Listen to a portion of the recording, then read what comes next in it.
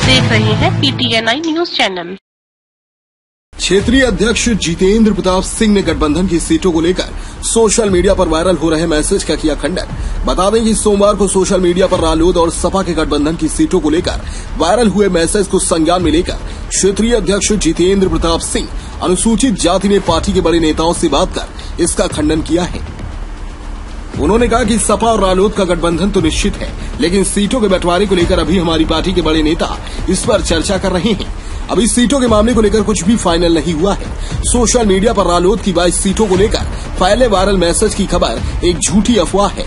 क्षेत्रीय अध्यक्ष ने यह भी कहा कि पार्टी के कार्यकर्ता एवं पदाधिकारी क्षेत्र में जाकर संगठन को मजबूती प्रदान करने का कार्य करें। किसी भी झूठी अफवाह पर ध्यान न दें। सीटों के बंटवारे को लेकर पार्टी के शीर्ष नेताओं का जो भी निर्णय होगा वह सर्वोपरि और सर्वमान्य होगा। प्रथम टीवी न्यूज़ इंडिया के लिए जनपद अमरोहा से फारूक अली की रिपोर्ट। दो दिन से सोशल मीडिया पर जो राष्ट्रीय लोकदल और समाजवादी के गठबंधन की सीटों को लेकर जो बात चली है, वो बिल्कुल फर्जी है।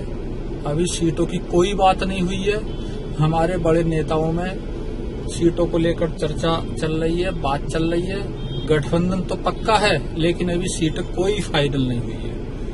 मेरा सभी अपने राष्ट्रीय लोकदल के परिवार से निवेदन है कि वो अपना संगठन मज़बूत करें अपने क्षेत्र में काम करें। प्रथम टीवी न्यूज़ इंडिया अपने दर्शकों से निवेदन करता है कि जब बहुत ज़रूरत हो तभी घर से बाहर निकलें, अपना ध्यान रखें और अपनों का ख्याल रखें। मास्क का प्रयोग करें और उचित दूरी बनाए रखें। धन्यवाद।